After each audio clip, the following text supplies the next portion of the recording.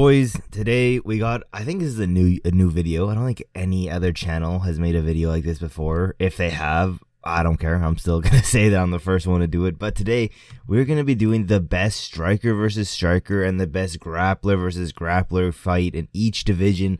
Now what i mean by the best I'm not necessarily talking about, you know, like going stat for stat, who has the best takedown defense, who has the best takedowns, the best control time. I'm not really talking about that. I'm talking about like if I had to pick, you know, one grappler to fight one grappler and one striker to fight one striker, which fight would be the most interesting? That's what I mean by the best. I'm not necessarily talking about some nerdy ass stuff about this is the best guy because blah blah blah and I bring up a bunch of stats. No, no, no, no. We ain't talking about that. We're just going if I had to pick purely off entertainment wise, which ones would I pick? This is it. Starting with flyweight, ending off with heavyweight.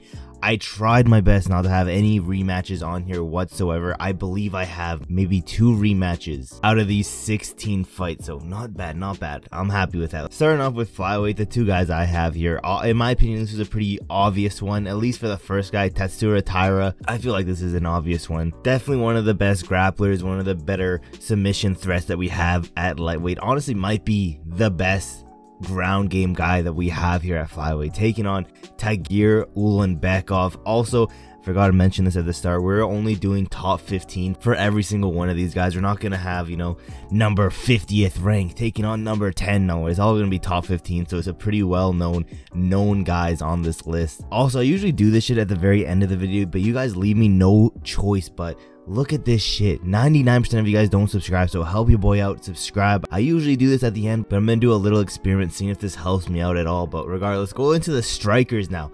This is where I think is going to be the more fun out of the two. We have Kai Kara France, we just saw in his latest fight, put out the boy Steve Erceg. RIP Steve Erceg, it is what it is. And yeah, Kai Kara France mainly here because out of all these flyweights, definitely has the most power out of all these guys. I think right now he has a record of the most first round KOs in the flyweight division. Then this one was a little bit harder, but out of all the guys, I had to put Manel Kape to fight him. Mainly because, you know, Manel Kape, he also has some heavy hands. I also think he's a little bit big for this flyweight division. And yeah, out of everyone in flyweight, you could have put someone like a Brandon Moreno there. But like I said, I'm trying to do fresh matchups, no rematches. And I think this would be a super fun matchup. Do I think this shit ever happens? Probably not. And as of right now, it seems like Manel Kape is on a decision merchant career pathway, so it is what it is. Let's go down to the bantamweight division. This one, fairly obvious. You know, I've been talking about this one ever since Saturday bantamweight division, the two grapplers I'm going to have here, obviously Merab Dvalishvili and Umar Nurmagomedov. Is there really that much that needs to be said about this one? This one, to be honest, let me quickly run through who else I have here. I think this one, this one is probably when this happens. I do think this is the next matchup for both these guys. I do think out of all the matchups I have here, this is the one I'd be most excited for just because, you know, the two best grapplers going at it for the championship. I just think this would be an amazing fight. Do I think it'll be the most entertaining? At points, no. I don't think it would be the best fight you could ever make. No, no, no.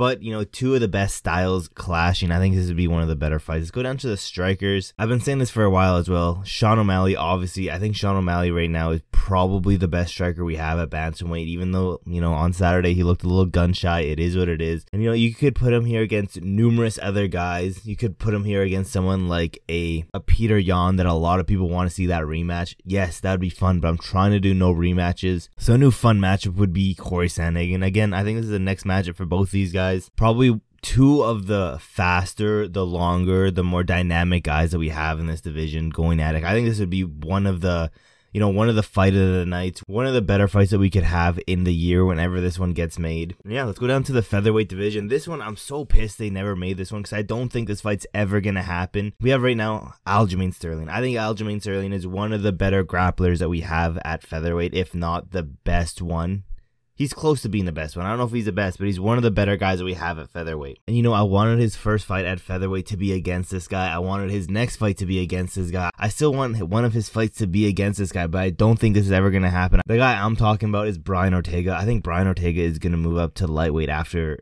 after losing to Diego Lopes, it is what it is. I think that would be a super, super fun matchup, though. Again, same thing like a Merab versus an Umar type of matchup. You know, I think that's where this fight would shine. Two of the best guys in a single category going at it. Both of them don't really, you know, have hands like this. I think Brian Ortega, you know, the striking is miles better than Aljamain.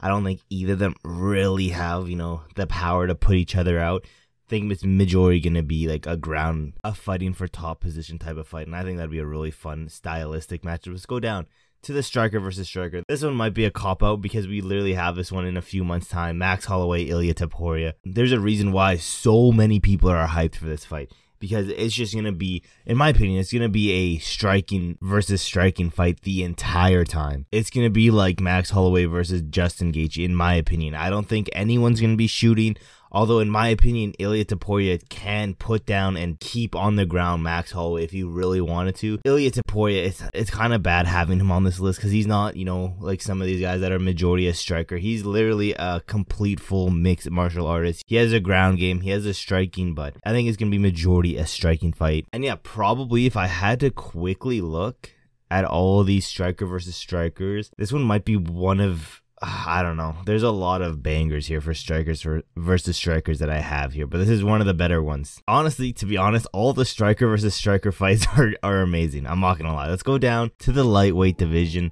This one, obviously, I had to put this one here. It's going to be a rematch. It hasn't been announced yet, but it's most likely going to be the next fight for both these guys. Islam Makhachev versus Armin Tsarukyan. And, you know, it's hard for me to actually put these guys here, especially Islam, because we've seen out of his few fights that he's had as champion, this boy has hands. He's not just a grappler. He can easily become a striker and become one of the better strikers in the lightweight division. He was literally piecing up Dustin Poirier in the striking. He was outboxing Dustin Poirier in certain parts of their fights, which is crazy, but yeah, it's it's hard to put Islam here just because of how you know well-rounded he is. But if I had to pick a fight that would be the best to put at lightweight for grappler versus grappler to promote it that way, it would be these two. Let's go down to the strikers. This one, very, it's very possible we get this one. I'm not gonna lie. Do I think it happens? I don't think so to be honest, but this would be a war. This would be a like fight of the year contender in my opinion. I'm talking about a rejuvenated, new mythical tatted up fighter Dan Hooker taking on Justin Gaethje. This is literally Justin Gaethje, Dustin Poirier type of vibes I'm getting from this fight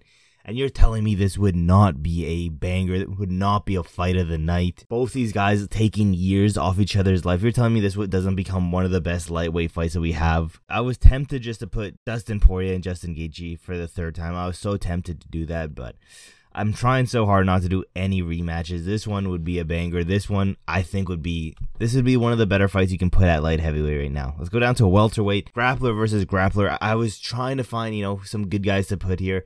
I think there's only real one. It's hard to even put this one here because when I'm talking about the best, I'm talking about uh, what I'm most excited for. And there's been points in each of these guys' career that they were both just hated by the fans. And to be honest, this might be the second worst grappler versus grappler on this entire list. And I'm talking about Belal Muhammad taking on Kamaru Usman both of these guys CEOs of EPOs. Both of these guys 100% on something. I'll die on this hill that Belal Muhammad is on something. But yeah, again, majority of these guys grapplers. They have pretty sloppy striking, but majority of it is grappling. This would be the best grappling versus grappling fight you can have at welterweight that isn't a rematch. And yeah, I'm not gonna lie, I kind of struggled for this one, so let me know in the comments below if you guys would change any of these guys. Let's go down to the striker versus striker. You could easily have, you know, you could easily have MVP versus Wonder Boy. You could easily do that one, but I wasn't going to take the easy option. This one I think would be just as fun, if not even better. I'm not going to lie. I'm talking about Jack Della Maddalena, probably the best pure boxer that we have in this welterweight division, the best striker we have in this welterweight division taking on, you know, a newly up and coming guy, someone who just got into the ranking, Michael Morales. Now, do I think Michael Morales could actually get this done? I could see it happening. but at the end of the day, this would be such a fun matchup just to watch for the striking alone. There would be zero takedowns from either of these guys because both of these guys don't have any takedowns in their arsenal. In my opinion, one of the best striker versus striker fights that we can have right now at welterweight. Will this fight ever happen? Probably not. You know, it could happen if Michael Morales keeps winning and gets higher up the rankings, but right now they're just too far apart in the rankings. Because right now, Michael Morales just entered the top 15. JDM is literally maybe a fight away from getting a championship fight. Let's go down to the middleweight division. The grappler versus grappler, in my opinion, this one's very obvious. We have Chimaev. There's no one else you would have here in middleweight. There's no way you can have grappler versus grappler if you don't have Chimaev as one of those grapplers in this middleweight division. Second guy, this would be a banger too. Anthony Fluffy Hernandez. He's fighting Michael Pereira pretty soon here, but this would be a crazy fight. I still think I, I think Chimaev would be still too strong for Hernandez, but I think this would be a fun matchup all at last. And then let's go down to striker versus striker. You know, we have Anthony Hernandez here. He's supposed to fight Michael Pereira, but Michael Pereira is on this list as well. He's one of the strikers we have here. You can't have a striker versus striker list without Michael Pereira. He's one of the more fun guys in middleweight, striking wise. And again, doesn't really have the takedowns, doesn't really have the grappling. Yes, I believe he does He's coming off a submission win not too long ago, but this boy's majority a striker. Let's match him up with Borralho. I think this would be a stupid fun matchup. Someone is 100% going to sleep in this one have the crazy dynamic striking of Pereira versus the very technical, you know, waiting to counter striking of Borralho. 100% someone's getting put to sleep here. Let's go down to the light heavyweight. This one's also a rematch. Magomed Ankalaev versus Nikita Krylov. You, I think these are literally the only two grapplers in the light heavyweight division. So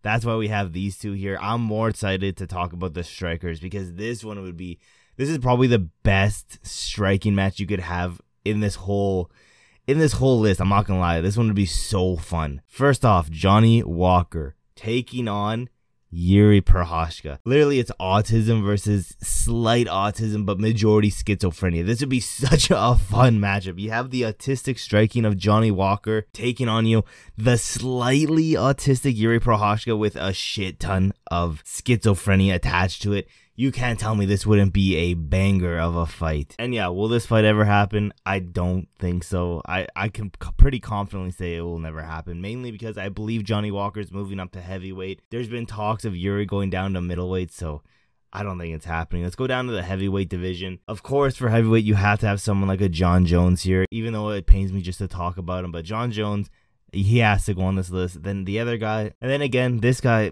you have to put this guy on the list too, Curtis Blaydes. There's been conversations where people think Curtis Blaydes is the guy to beat Jon Jones. Do I think that's true? No, I still think Jon Jones beats someone like a Curtis Blaydes, although very, very competitive fight. But let's go down to the striker versus striker fight. This one, I I don't think there's another guy you can put here other than Tom Aspinall and Ciryl Gane. Those are the two best strikers in my opinion in the heavyweight division. And when this fight does get announced, because I do believe it will eventually happen, I do think this would be one of the one of the better heavyweight fights that we've had in a hot minute. Because to be honest, let's let's be realistic. Heavyweight's been pretty ass as of recently. But yeah, those are every single guys I have on this list. You guys have to let me know in the comments below. Would you switch any of these guys out for someone else? Because in my opinion, these are, I would say 99% of these are just bangers. Just how 99% of you guys don't subscribe to this channel. Just help your boy out. If you made it to this far into the video, you might as well just subscribe with those post notifications turned on so you never miss any of these rare videos. I got another, I'm pretty sure I have another, you know, new video that no one else has made coming out tomorrow that I'm pretty excited for that I can make into a whole series. Pretty excited for that. You know, your boy was laying in bed and boom, came into my mind just like that. Pause. That was crazy. But at the end of the day,